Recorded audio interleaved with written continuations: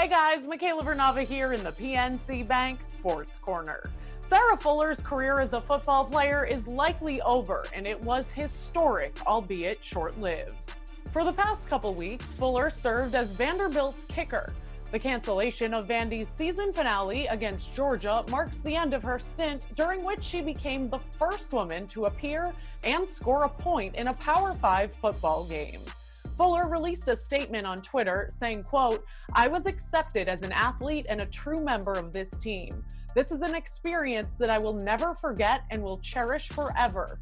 Good luck to the seniors and staff who are moving on to new adventures. Best wishes to the team as this program moves forward and continues to grow. PNC Bank, helping to make banking easier.